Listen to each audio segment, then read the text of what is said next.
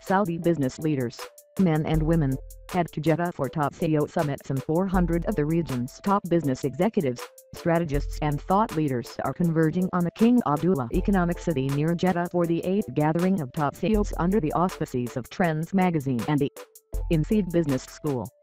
For the first time, to reflect the moves towards gender equality in Saudi Arabia's workforce, the event will be preceded by the Arab Women Forum, the one-day gathering of top women executives, decision-makers and professionals, as well as experts on women empowerment and business leadership, in partnership with Arab News.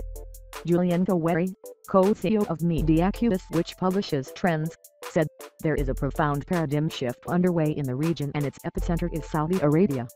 These changes are impacting all businesses and CEOs have to understand how it is affecting the government and private sectors.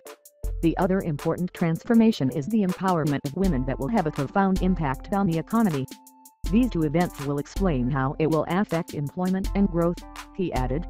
The centerpiece of the two days of plenary gatherings, workshops and breakout sessions will be the announcement of the top CEO awards in the Arabian Gulf region, an annual rating of executive quality based on the financial performance of the leading companies on the region's stock markets.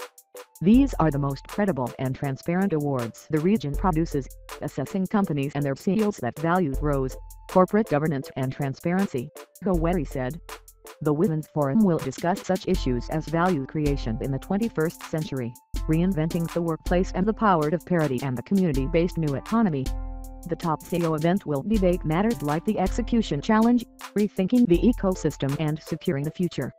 Among the speakers at the two days of events are included Fahd Al-Rasheed, CEO of Emaar the Economic City, Maliha Hashmi, Head of Strategic Partnerships for the Public Investment Funds and the NEOM Project, Tarek El-Mafari, Middle East Chief of McKinsey & Company, and Muna AbuSulayman, Media Personality and Goodwill Ambassador of the United Nations Development Programme.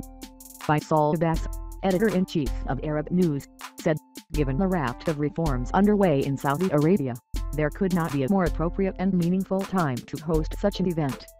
Arab News has been taking the leading role in both reporting on the changes underway in the kingdom and pointing out the clear need for women to play key roles in Saudi society, and the many challenges ahead. The conference aims to take this conversation forward, for the benefit of both Saudi Arabia's female workforce and the wider society as a whole.